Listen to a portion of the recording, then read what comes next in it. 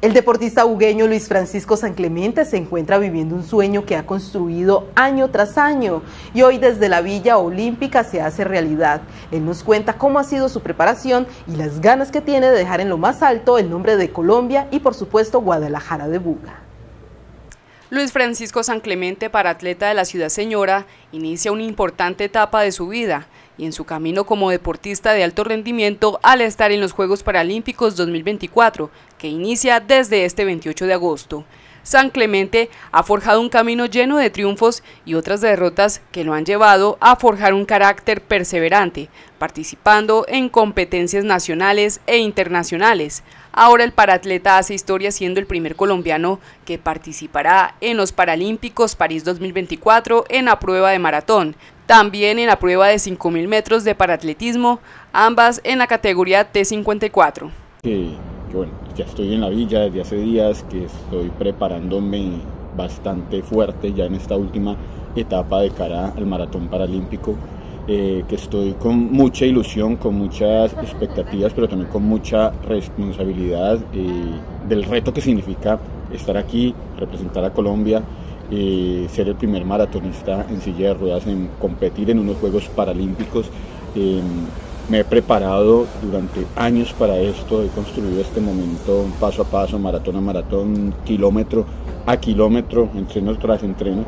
Y bueno, eh, tengo mucha eh, ilusión y muchas ganas de pelear el domingo 8 de septiembre por ese maratón. Aquí en la villa nos preparamos constantemente en el gimnasio, vamos a la ruta, a veces entrenamos en la pista, hacemos una preparación completa como lo hago en mi casa a la misma hora que se va a correr el maratón. Y bueno, de esa manera estoy afrontando este reto, estoy viviendo cada instante aquí de este sueño de una manera increíble.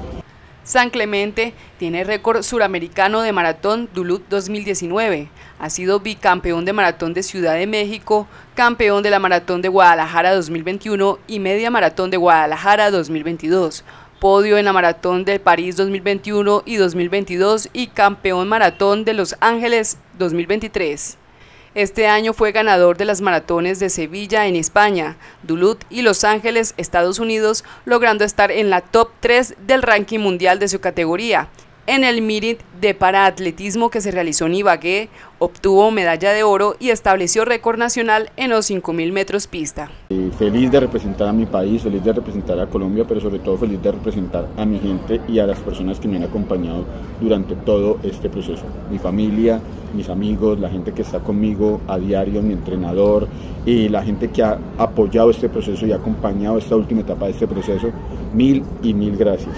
Eh, hoy empiezan los Juegos Paralímpicos, hoy empieza este reto, que no es solamente mío, sino también de mis compañeros, los atletas en diferentes pruebas, desde los 100 metros eh, hasta el maratón. Todos vamos a darla toda, tanto en atletismo como en otros deportes. El 8 de septiembre es la maratón paralímpica, hoy inician los Juegos Paralímpicos eh, aquí en París y bueno, con mucha ilusión, con muchos sueños, con muchas expectativas y con un gran reto en un abrazo grande para todos, mil y mil gracias por todo su apoyo, a los que ven este video, a mi familia, a mis amigos, a mi patrocinador Grupo Argos, eh, a todos los que están detrás de que yo esté aquí, Mil y mil gracias. La participación de San Clemente será el 8 de septiembre y no solo compite con el objetivo de alcanzar el podio, sino que también representa una fuente de inspiración para jóvenes atletas y para la comunidad en general. Su dedicación, esfuerzo y resultados son un testimonio de lo que se puede lograr con pasión y perseverancia. Su participación en los Juegos Paralímpicos de 2024 es una celebración del espíritu deportivo y de la capacidad humana para superar cualquier desafío.